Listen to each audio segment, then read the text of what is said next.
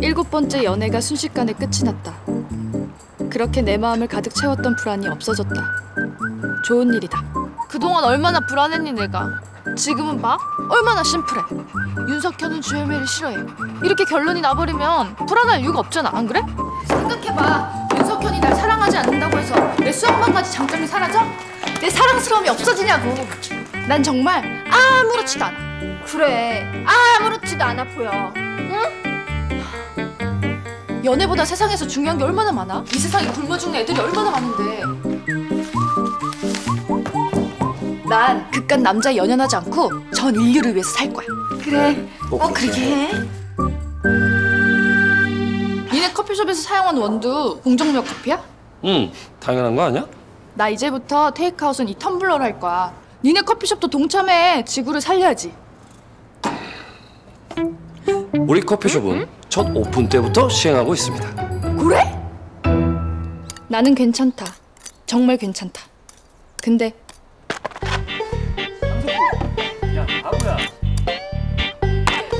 윤석현이 나보다 괜찮은 건 괜찮지 않다. 다른 것도 아니고 캐치버를 강내연하고 하다니. 내 인생의 잡초 같은 놈. 뽑아버리자.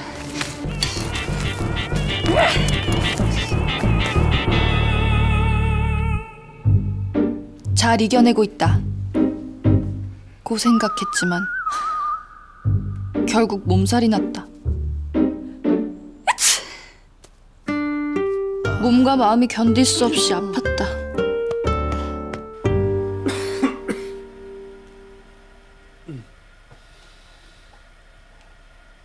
열매야, 너 아직 안 일어났어?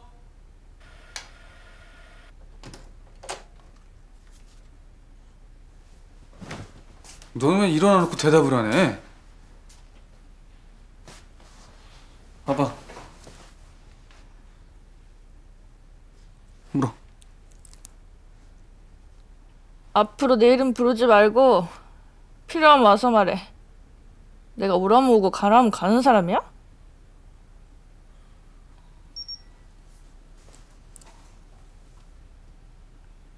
삼십팔 점 구도 나랑 똑같네. 일어나. 치킨 수프 끓여놨어. 먹고 병원 가서 주사 맞자. 일어나.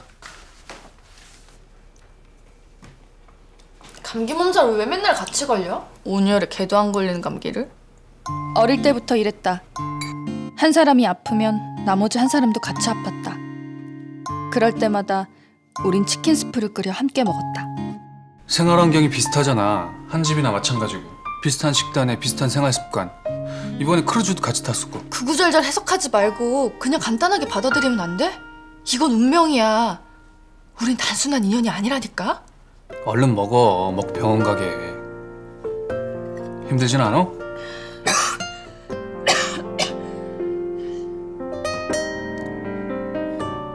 설명할 수 없는 무언가가 우리 사이엔 있다니까. 오빠는 그렇게 생각 안 해?